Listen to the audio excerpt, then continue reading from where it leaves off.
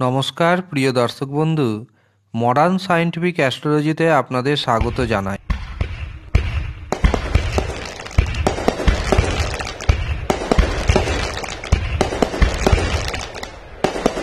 সামনেই ধনতেরাস। ধনতেরাসের দিন, ঝাড়ুর যদি আপনি সঠিক প্রয়োগ করতে পারেন, তবে আপনার হাতে হু হু করে অর্থ আসবে। কীভাবে এই সঠিক প্রয়োগ করবেন? কোন দিন ঝাড়ু কিনবেন? কীভাবে ঝাড়ুর ব্যবহার করবেন? এবং কোন কোন ক্ষেত্রে বা কোন কোন দিকে ঝাড়ুর ব্যাপারে সচেতন থাকবেন, সমস্ত কিছু জানতে পারবেন এই ভিডিওটিতে। কাজেই ভিডিওটি সম্পূর্ণটা মনোযোগের সাথে দেখতে থাকুন।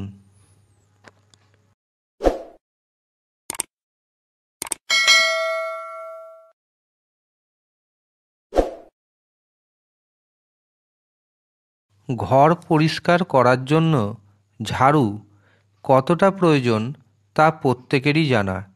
তবে আপনি কি জানেন বাড়ির সুখ, শান্তি, সমৃদ্ধি ঝাড়ুর সাথে সম্পর্কিত? হ্যাঁ শাস্ত্রে ঝাড়ুকে মা লক্ষ্মী দেবীর প্রতীক হিসাবে বিবেচনা করা হয়েছে। ঝাড়ু দিয়ে ঘর পরিষ্কার করলে মা লক্ষ্মী দেবী সন্তুষ্ট হন। তবে ঝাড়ু সম্পর্কিত কিছু ভ্রান্ত ধারণা মা লক্ষ্মী দেবীকে অসন্তুষ্ট করতে পারে, ফলে আর্থিক অভাব অনটনে পড়তে পারেন আপনি।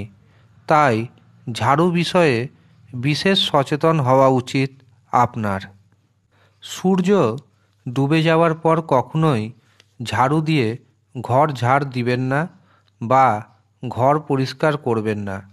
যদি আপনার পুরনো ঝাড়ু খারাপ হয়ে যায়, তবে নতুন ঝাড়ু যত শীঘ্রই সম্ভব তাড়াতাড়ি কিনে আনুন।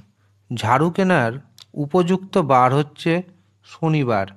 তবে ধনতেরাসের দিন যদি শনিবার নাও পড়ে, তবুও আপনি ধনতেরাসের শুভ মুহূর্তে ঝাড়ু কিনতে পারেন।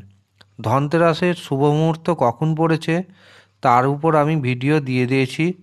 আপনি যদি চান, সেটি দেখে নিতে পারেন।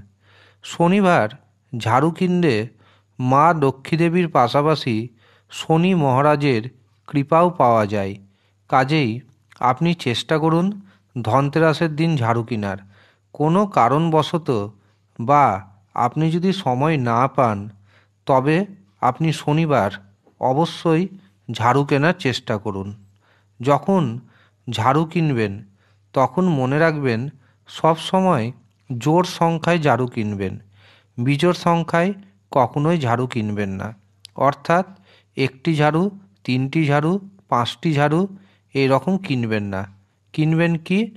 দুটি ঝাড়ু, চারটি ঝাড়ু, ছটি ঝাড়ু এই রকম ঝাড়ু কিনবেন।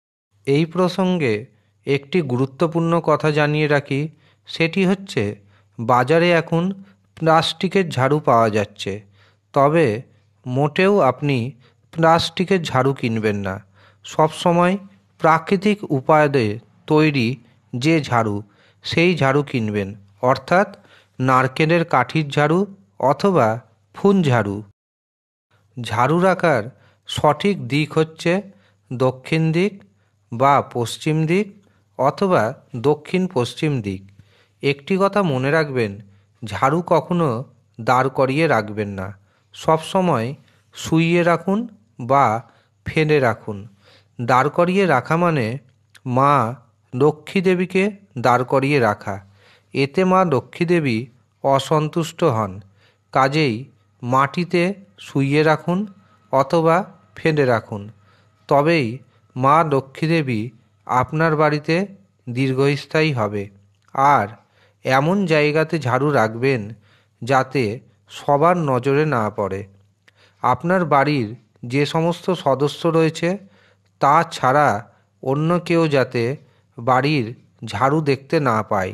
বাইরের লোক বা অতিথি আপনার যেন ঝাড়ু দেখতে না পায়। আর যদি দেখতে পায়, তবে আপনার অর্থের ক্ষতি হওয়ার সম্ভাবনা বেড়ে যায়। ঝাড়ু যদি ভেঙে যায়, তা ফেলে দিন এবং তার জায়গায় নতুন ঝাড়ু নিয়ে আনুন। তবে মনে রাখবেন, বৃহস্পতিবার অথবা শুক্রবার কখনোই বাড়ি থেকে পুরনো ঝাড়ু বিদায় করবেন না। কারণ বৃহস্পতিবার এবং শুক্রবার এই দুটি বার হচ্ছে মা লক্ষ্মীর বার। কাজেই এই দিন লক্ষ্মীকে বিদায় করতে নেই।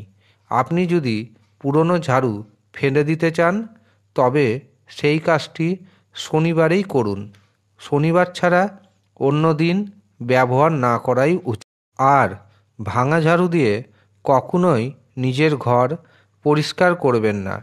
ভাঙা ঝাড়ু দিয়ে ঘর পরিষ্কার করা অর্থ নিজের দুঃখ কষ্টকে আমন্ত্রণ জানানোর। কাজেই নিজের দুঃখ কষ্টকে যদি আমন্ত্রণ জানাতে না চান, তবে ভাঙা ঝাড়ু দিয়ে কখনোই নিজের ঘর ঝাড় দিবেন না। নজর রাখবেন ঝাড়ুকে যেন পা না লেগে যায়। আর যদি লেগে যায়, তবে তৎক্ষণাৎ ঝাড়ুকে প্রণাম করুন। নচেত আপনার জীবনে নেমে আসতে পারে অর্থনৈতিক সমস্যা, কারণ ঝাড়ু যেহেতু মা লক্ষ্মী দেবীর প্রতীক, তাকে পা দিয়ে স্পর্শ করা মানে মা লক্ষ্মীদেবীকে রুষ্ট করা। আর আপনার বাড়ি থেকে মা লক্ষ্মী যদি একবার বের হয়ে যায়, তবে কিন্তু তিনি আর প্রবেশ করতে চান না। এছাড়াও দু একটি গুরুত্বপূর্ণ কথা জানাই, যেই কথা আপনাদের অবশ্যই মানা উচিত। ঝাড়ু কিনে আনার পর, ঝাড়ুর উপর অবশ্যই সামান্য গঙ্গা জল ছিটিয়ে দিবেন। এতে ঝাড়ুর যদি কোনো দোষ থাকে, তবে সেই দোষ দূর হয়ে যাবে। আর ঝাড়ু যখন কিনবেন, দেখবেন ঝাড়ুটি যেন পরিপূর্ণ হয়। কম দামে পাচ্ছেন বলে আপনি কখনোই অপরিপূর্ণ ঝাড়ু কিনবেন না। আপনি সামান্য পরিমাণ বেশি অর্থ দিতে হলেও আপনি পরিপূর্ণ ঝাড়ু কিনে আনুন। ঝাড়ু কেনার পর তাতে সাদা সুতো বাঁধুন, তারপর পুজো করুন এবং তারপর ব্যবহার করা শুরু করুন। পুরনো ঝাড়ু ঝাড়ু দিয়ে আপনি অবশ্যই বাড়ির প্রত্যেকটা ঘর পরিষ্কার করুন। কোনো যদি ভুল ত্রুটি হয়ে থাকে, তবে আপনি ক্ষমা প্রার্থনা করুন এবং আপনার যাতে অর্থনৈতিক সমৃদ্ধি ঘটে, তার প্রার্থনা করুন মায়ের কাছে। দেখবেন ইচ্ছা পূরণ হবে।